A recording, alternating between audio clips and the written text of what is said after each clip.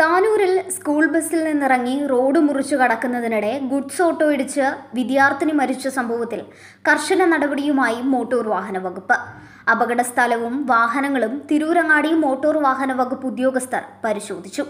അശ്രദ്ധമായി വാഹനം ഓടിച്ച സ്കൂൾ ബസ് ഡ്രൈവറുടെയും ഗുഡ്സ് ഓട്ടോ ഡ്രൈവറുടെയും ലൈസൻസ് റദ്ദ് ചെയ്യാനുള്ള നടപടിക്രമങ്ങൾ ആരംഭിച്ചതായി ഉദ്യോഗസ്ഥർ അറിയിച്ചു.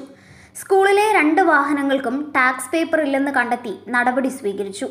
അപകട സ്ഥലത്തുണ്ടായിരുന്ന സ്കൂൾ ബസിന്റെ പാർക്ക് ബ്രേക്കും വേഗപ്പൂട്ടും പ്രവർത്തനരഹിതവും ടയർ മോശം അവസ്ഥയിലാണെന്നും കണ്ടെത്തി.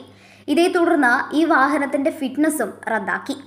ഇന്നലെ നടന്ന അതിദാരുണമായ സംഭവത്തെക്കുറിച്ച് അന്വേഷണം നടത്തുകയും അതിൽ ഉത്തരവാദപ്പെട്ടവർക്കെതിരെ കർശനമായ നടപടിക്ക് ശുപാർശകൾ നൽകിയിട്ടുണ്ട്. ഇത്തരത്തിലുള്ള ദുരന്തങ്ങൾ ആവർത്തിക്കാൻ ആവർത്തിക്കാതിരിക്കാൻ വേണ്ടിയിട്ട് മോട്ടോർ വാഹന വകുപ്പ് അധ്യയന വർഷത്തിന്റെ തുടക്കത്തിൽ തന്നെ ധാരാളം സേവനങ്ങൾ നടത്തിയിട്ടുള്ളതാണ്.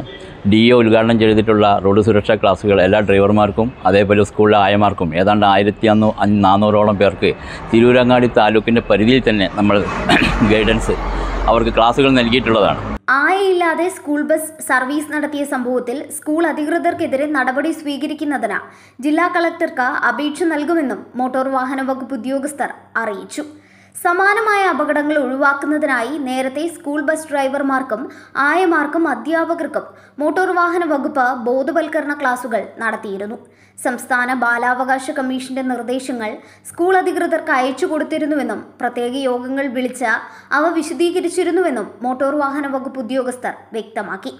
തെയ്യാല കല്ലത്താണിയിൽ ഇന്നലെ ഉച്ചയ്ക്ക് പന്ത്രണ്ടരയോടെയാണ് ദാരുണമായ അപകടം ഉണ്ടാകുന്നത്.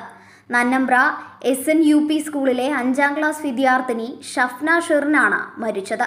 സ്കൂൾ ബസ്സിൽ നിന്നിറങ്ങി ബസ്സിനു പിന്നിലൂടെ റോഡ് മുറിച്ചു കടന്ന കുട്ടിയെ എതിരെ വന്ന ഗുഡ്സ് ഓട്ടോ ഇടിക്കുകയായിരുന്നു.